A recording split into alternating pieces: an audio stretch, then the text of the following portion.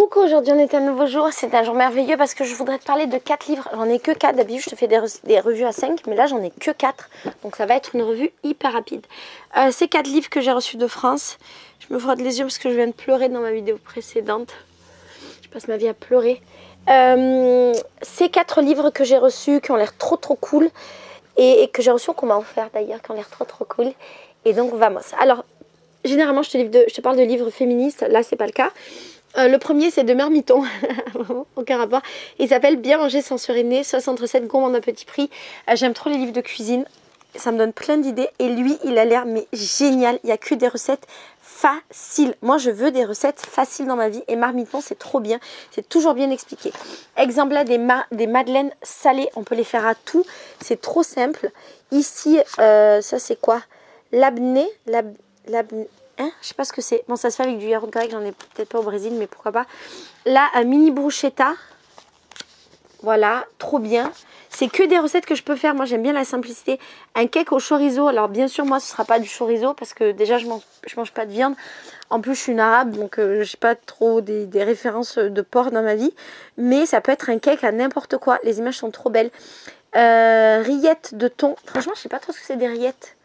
Mais euh, vas-y, on va faire des rillettes de thon dans ma maison. Euh, pâte au thon, ben, très bien pâte au thon. Je suis trop contente pour l'instant, ils mettent pas trop de viande. Je mange pas de viande, je mange pas vraiment de poisson, mais parfois je peux manger un peu du thon quand j'en sens le besoin. J'en sens le besoin. Euh, je suis trop contente, c'est des recettes faciles. Moi, ils mettent du poisson, mais bon. Gratin de ravioles, c'est très bien.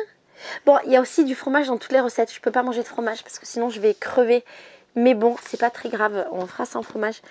Ouais, vraiment du fromage. Gratin de pommes de terre de pommes, de pommes, c'est ça? Au lait de coco, mais c'est très bien. Ah non, curry de pois chiches. Bon, j'aime pas les pois chiches. Euh, ça a l'air complexe ce livre, mais t'inquiète, je vais m'adapter. Euh, one pot pasta, champignons, épinards. Parfait, j'ai découvert que les épinards c'était trop bon il y a pas longtemps. Tarte flambée express, merveilleux, c'est ça qu'on veut. Euh, Anti-gaspi, très bien. On improvise. Allez, tartelette tatin à l'échalote. Si ça a l'air trop bizarre, mais je vais aimer. Bref, le livre est très beau, les, les photos sont belles, crème de lentilles, très bien chili con carne, soupe à l'oignon. Voilà, c'est ça que j'aime. C'est exactement ce que je veux. Gratin de quinoa. Euh, tarte au potiron. Mais voilà, ça donne plein d'idées. Rôti de porc, non, vraiment pas. Poulet à sauce, sûrement pas. Lasagne à la ricotta. Bon, t'as compris, ça livre trop bien. Si, si tu sais pas trop cuisiner comme moi, ça peut être une bonne idée. Euh, on revient sur un peu sur... Euh, allez, c'est une féministe, mais elle parle pas de féminisme dans ce livre. C'est euh, D'image et d'eau fraîche de Mona Chollet. Mona Chollet, c'est une des papesses du féminisme actuel. elle écrit des livres qui ont rien à voir avec le féminisme. Elle avait écrit un livre sur la maison qui était trop bien, sur le chez-soi, que j'ai pas fini de lire et qui est trop trop cool. Celui-là, il parle d'autre chose. Alors il a écrit, il est. Jusqu'ici, j'ai toujours écrit pour tenter de me débrouiller de débrouiller un ou plusieurs problèmes auxquels je me heurtais dans la vie, en espérant que ce travail serve aussi à d'autres. Il est un peu déconcertant de le faire simplement, cette fois pour partager l'un des stratagèmes par lesquels je maintiens allumée la flamme de ma vitalité, pour parler de plaisir. Parmi tous les ouvrages qui paraissent dans la culture numérique, je n'ai encore jamais rien lu au sujet de cette communauté éparse que, que j'ai moi-même rejointe il y a bientôt 10 ans, celle des collectionneurs d'images en ligne qui cumulent et partagent au fil des jours sur Instagram, Tumblr, Flickr et Pinterest des photographies d'art, de tableaux, de dessins qu'ils aiment. Cette activité en apparence anodine représente mon équivalent de la liste des choses qu'il faut battre dans le cœur, dressée par Shei Shanagon, dame de compagnie de l'impératrice consort au Japon, dans les notes de chevet du XXIe siècle. Dans un monde de plus en plus désespérant, j'ai envie de revendiquer ce rapport primaire et entêté à la beauté, cette confiance dans l'appui qu'elle offre, faisant de nous des perchistes arrachés momentanément de la gravité et catapultés dans les airs, libres et légers avant de retomber ailleurs. Je ne sais pas exactement ce que c'est, c'est un livre avec des images, des jolies images, des belles photos, euh, avec des photos en noir et blanc, des photos en couleur. J'ai trouvé ça très intéressant, d'autant plus qu'Instagram n'est plus vraiment un réseau social euh, de photos. Et que, moi aussi j'ai aimé partager des photos sur euh, Instagram. Et donc j'avais envie de lire un truc qui était complètement différent de ce que je lis. Comme je suis à fond sur le féminisme en ce moment, je lis que des, des livres de féminisme et j'ai envie un peu de retourner à des, des romans ou des livres qui parlent d'autres choses. Et donc là, c'était cool parce que j'aime bien mon Acholet, j'aime bien sa manière d'écrire. Euh, et donc euh, voilà, je lis, je lis en ce moment des livres d'elle, donc c'était très bien. Euh, ensuite, Ne vous libérez pas, on s'en charge, une histoire des féminismes de 1789 à nos jours, de Bibia Pavard, Florence Rochefort et Michel Zancari Fournel. Alors c'est un gros bouquin, il y a beaucoup de choses, je pense qu'il se lira pas en une fois, et il y a énormément d'illustrations qui sont trop belles. Je pense que c'est un livre qui parle de militantisme, et j'aime bien ça. Euh, je ne sais pas si je suis une militante. En tout cas, je ne suis pas une meuf qui manifeste, mais peut-être que je milite de d'autres manières, peut-être en faisant des vidéos. Et euh, voilà, je suis très heureuse de, ce d'avoir ce livre qui va parler des militantes et de ce qu'elles ont fait. Qu'est-ce qui a marqué derrière? Comment les féministes ont-elles émergé en France? Doit-on parler, de, féminisme bourgeois? C'est bien parce que j'en parle souvent. Quel lien existé entre le féminisme et le socialisme? Y a-t-il eu des féminismes noirs? Les féminismes et hum, les féministes étaient-elles toutes colonialistes? Existe-t-il des féminismes religieux? Comment s'articulent mouvements lesbiens, gays, trans et mouvements féministes? Quel a été le rôle du féminisme institutionnel? Qu'est-ce qui est nouveau dans, les groupes de féministes aujourd'hui? Qu'est-ce que relève MeToo sur la capacité des femmes à se mobiliser? Ce livre entend fournir quelques clés indispensables afin, de penser les féminismes d'hier et d'aujourd'hui à la lumière des grands défis contemporains des inégalités sociales, raciales et de genre. Cette socio-histoire renouvelée des féministes rencontre des stratégies plurielles déployées par les femmes et des hommes féministes qui ont, qui ont combattu les inégalités entre les sexes et l'oppression spécifique des femmes de la Révolution française à nos jours. Ça a l'air passionnant. Alors, qui sont les meufs qui ont écrit ça? Il y a euh, Biblia Pavard, historienne à l'université, nanana, et autrice de Si je veux, je peux, nanana, euh, Florence Rochefort est historienne au CNRS. Elle a co-dirigé le, siècle des féministes. Et Michel euh, Zancari-Fournel est historienne à l'université blablabla, qui a écrit aussi plein de livres sur les féminismes. Là, bon, ben, c'est très bien, c'est des meufs qui écrivent des livres de féminisme. Ça a l'air d'être un livre de sociologie. J'ai toujours très peur de ces livres-là parce que j'ai peur de pas être assez euh, sociologue, de pas, je vais dire de pas comprendre, mais que ce soit des livres trop complexes.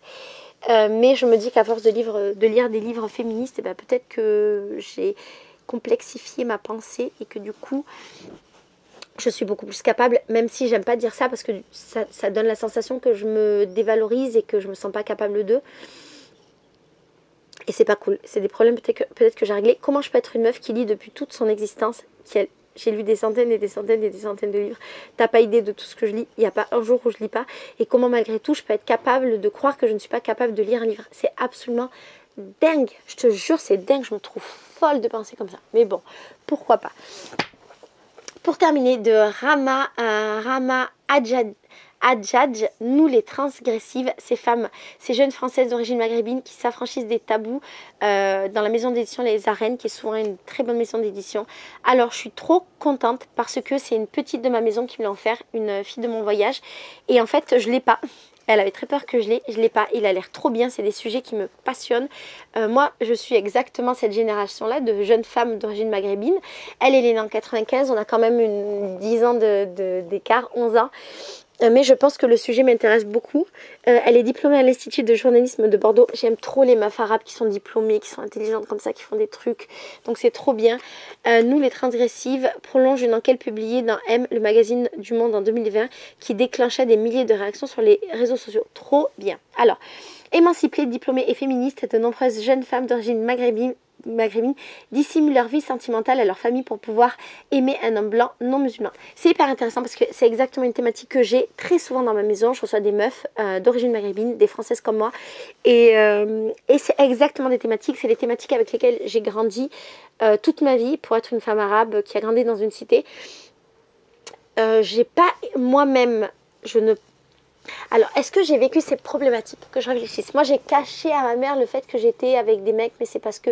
C'est exactement ça. C'est parce que j'avais pas le droit d'avoir un mec, d'avoir un copain, machin, machin, avant très longtemps. Je ai beaucoup caché. Je caché que j'étais plus vierge, je caché plein de trucs. Le jour où j'ai été vierge, ma mère m'a défoncé. Et le premier truc qu'elle m'a dit, c'est euh, Qu'est-ce que vont dire les voisins maintenant que tu as, souillé notre réputation? Rien à voir. Et euh, oui, j'ai grandi avec cette peur en fait, cette peur de la réputation pour être une femme dans une cité et être très libre. Et ma mère était euh, d'une certaine manière très féministe. Je sais pas si elle est toujours, donc je dis été, elle est toujours vivante. hein. C'est une femme très féministe qui m'a, je pense, donné euh, une base très féministe de femme forte et indépendante. Et je pense qu'elle s'en rendait pas compte. Et donc, euh, donc c'est une problématique qui me parle beaucoup. Alors, euh, écartelé, et puis non musulman, euh, c'est vrai aussi que c'est une problématique qui me parle. Ma mère m'a pas demandé d'être avec un musulman, mais c'est vrai que c'était que toutes mes copines étaient avec des musulmans et moi j'ai été avec des pas musulmans, puis j'ai fini par me marier avec un musulman. Et j'en ai parlé dans plein de vidéos parce que c'était très euh, confortable. Et ça faisait beaucoup de bien en fait d'être avec quelqu'un de la même origine et de la même culture que moi.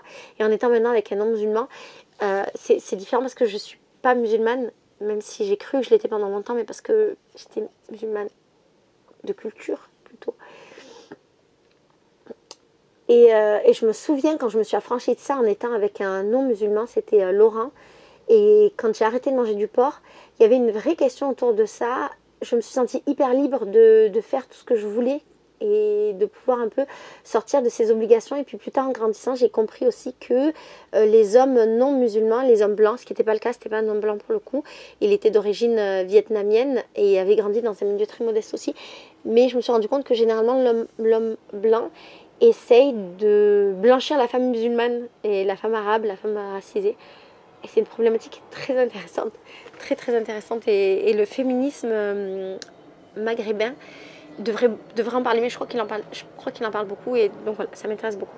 Donc écartelée entre désir d'infranchissement et injonction familiale, elle mène une double vie construite sur le mensonge, vacances inventées, ph- photos cachées, euh, traces effacées. C'est exactement ce que vivent les petites qui viennent dans ma maison, mais c'est à 100%. Dès que j'ai une petite euh, arabe dans ma maison, je sais, euh, dans mes voyages sori- sororité, qu'elle ne voudra pas que je mette des photos d'elle sur le compte, qu'il faudra faire super attention, qu'il y a plein de trucs qu'elle peut pas faire, qu'elle cache plein de trucs à sa famille, ses parents, nanana.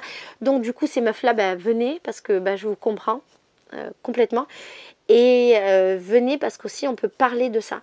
Et j'ai été très touchée par une petite qui s'appelait Mélina. Euh, Mélina, c'est bah, exactement cette génération-là de meufs qui exactement se bat contre bah, ce, que la, ce que sa famille lui impose en fait. Et qui m'a dit que, que je lui servais de modèle parce que je lui montrais qu'on pouvait être une femme arabe, une femme euh, maghrébine et qu'on pouvait faire des choix différents. Et ça, j'ai été d'une fierté sans nom quand elle m'a dit ça, c'était génial. Et je me suis dit, ok, donc euh, ça veut dire j'ai, réussi ma vie en fait. J'ai, réussi à euh, être un modèle pour ces petites-là que j'étais moi avant. Merveilleux. Alors,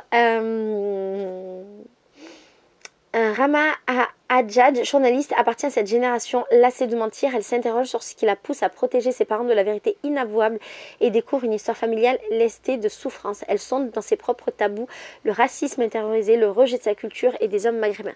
C'est trop intéressant. Toute ma vie, on m'a dit de ne pas être avec des arabes, des hommes arabes, alors qu'ils sont merveilleux et pas merveilleux sur beaucoup de choses. Et donc, euh, voilà, je trouve ça trop bien. Il est sorti en 2023, il vient à peine de sortir.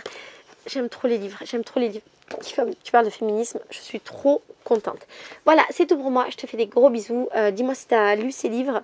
Si tu fais des recettes de marmiton, tu me dis aussi en partage. Peut-être que euh, j'en ferai en vidéo. Je te fais des gros gros bisous. D'ailleurs, dis-moi si tu envie que je fasse des recettes en vidéo. Ça veut pas dire que je te montrerai comment les faire parce que ça veut pas dire que je les réussirai. Mais euh, je crois que j'ai bien envie de faire ça. J'ai envie de faire des, des vidéos différentes et de faire des recettes en vidéo. Ça me plaît bien. Voilà, bisous.